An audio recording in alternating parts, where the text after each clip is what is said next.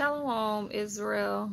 It's Melanin Wisdom. Um, I'm making this video because it was something that I wanted to share with you all that I seen that I actually tried that I could tell that it actually is going to do the job that they're saying it does.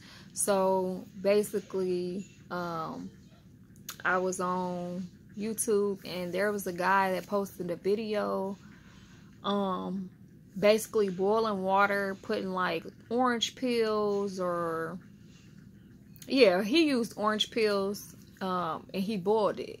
And then after he boiled it, he pretty much put his face over the pot and let the steam go up into the nostrils.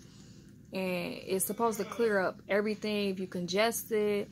Um, uh, basically, he's saying it's a preventative measure for this coronavirus because we know that um, steam you know like steam alone it it goes it helps your respiratory system it helps with uh, breathing it helps patients that's in respiratory distress.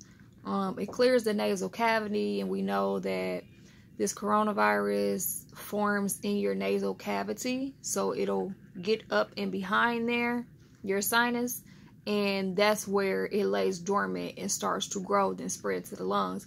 But basically this steam, using this steam water, go straight up and it'll clear out everything. Like clear your nose, clear your throat. You'll just feel, I'm telling you, 10 times better. Even if you you got sinuses, you know, because seasons is changing. So a lot of people going to be dealing with sinus issues and stuff. It's good. First of all, I don't put anything on this earth above the Most High Yahweh. He is the one that is going to keep you through the midst of these perilous times. So, but I did want to share this with you because I tried it. Because I've been congested and I know it's my sinuses or whatever. I ain't claiming it ain't my sinuses, but they've been, it's been irritating, been real stuffed up and stuff. So I tried this steam water. I put lime, lemon, and I put some essential oils in there. I did it for 20 minutes and it's amazing. it cleared all that up, like all of it. It works, or else I wouldn't be doing this video. So for those of you are out there that's not feeling well or that's feeling fine but want to like just preventative measures, you know, because we know this coronavirus attacked the respiratory system and shuts it down basically. But this steam water it does the opposite of what this virus does. So it keep you clear, it allow you to breathe good, it unclog your sinuses, if you stuffy, any of that, it's gonna do justice. So with that being said, of course I got some scriptures for y'all. In Proverbs, where talk about our health and it talk about wisdom and understanding. So is Proverbs chapter four.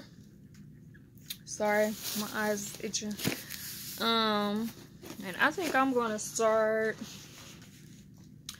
at verse, I was just reading. I'll start at verse 20. So Proverbs 4 and 20. Uh, it says, My son, attend to my words, incline thine ear unto my sayings. Let them not depart thine eyes. Keep them in the midst of thine heart. For they are life unto those that find them, and health unto their flesh. So, did y'all hear that? This is wisdom. We we talking about wisdom. So you begin to find wisdom, and you start to uh, have a greater understanding.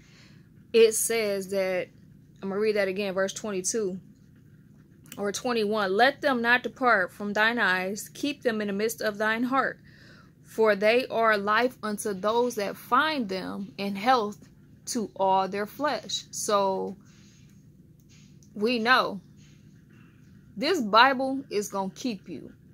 The word of Yahweh will keep you in these perilous times. The key is to repent. Repent of your wickedness. Repent of your wicked ways. Turn away. Get out of Babylon. Get out of her. Get out of her.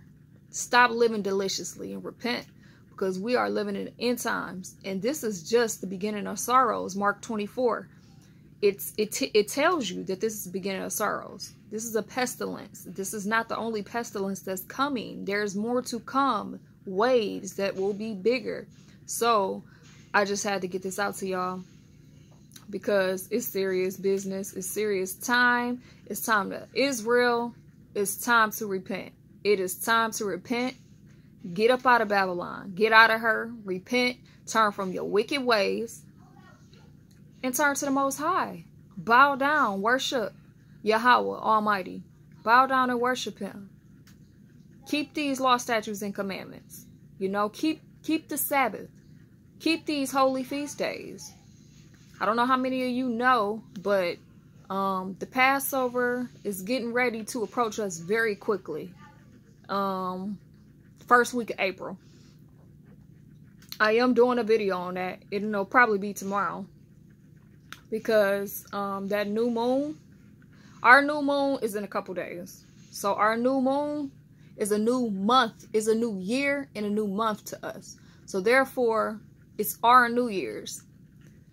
So the heathen New Year's is January 1st, right? That's not our New Year's, Israel. That's not our New Year's. Our New Year's is in the spring and it's getting ready to approach us. So um, I had to come to y'all, tell y'all about this. Uh, hopefully you got an ear to receive and take heed and listen to the words that's being spoken. Um, if you're not subscribed to this channel, go on and subscribe.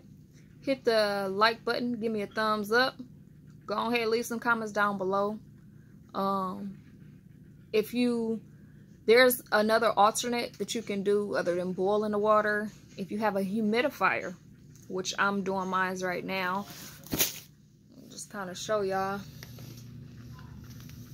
There's the humidifier right there. So you can use your humidifier. You don't have to boil the water on the stove.